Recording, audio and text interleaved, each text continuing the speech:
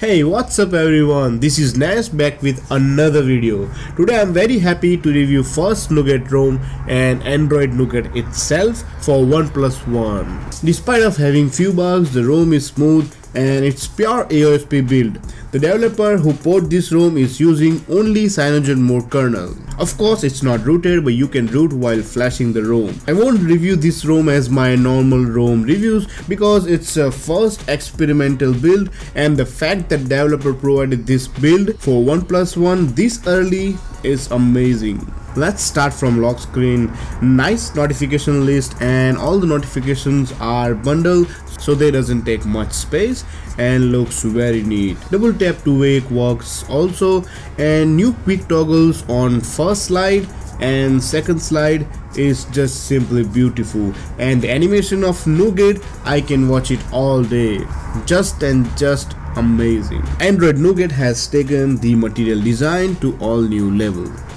The new setting style, sliding subsetting menu from right is saving my lots of time. Giving suggestion to new users, not to forget when you have alarm only mode activated, it will show you each time you go to settings on the top with green bar and thank you Google for that and giving extra info without tapping on tab is very very useful like I can know my ringer volume without even going into sound tab. Battery icon shifted from status bar to notification drawer, the new battery usage graph and battery saver option available in notification drawer. Now you can change LCD density without root and without any third party app. Even the style of changing density is unique also.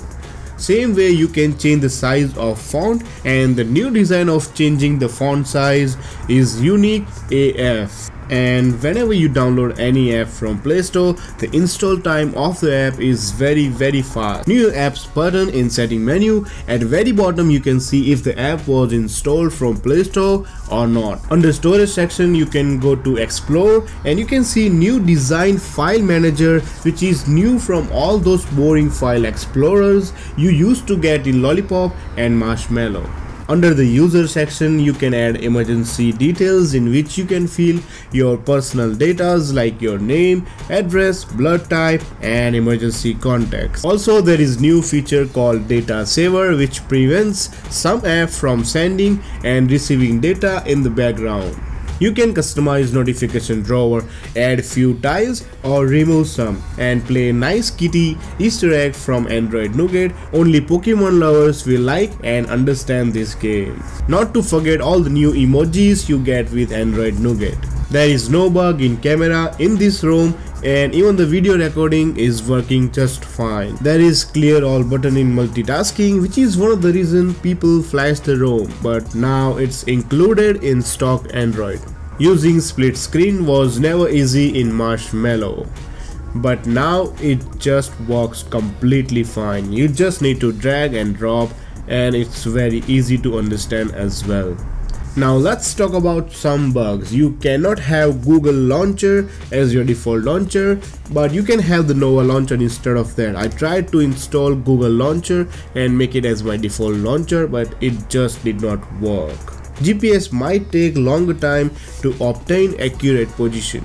No gestures are working except double tap to wake gesture. Overall I felt very good and happy while using the ROM and I got Nougat so that's a bonus for me. Battery life seems to be average around 4.5 hours of screen on time, few bugs which are ignorable and the ROM is 90% daily drive safe so I would give 4 out of 5 to this ROM. I will give the full XDA link in the video description below and guide to flash the ROM as well. Now flashing this ROM is bit tricky so read the instruction carefully and use OpenGApps 7.0. I hope this video was useful to you and hit the thumbs up if you enjoyed the video. This is Nesh and I'm really glad that you watch all my videos. Until next time, keep flashing my friends.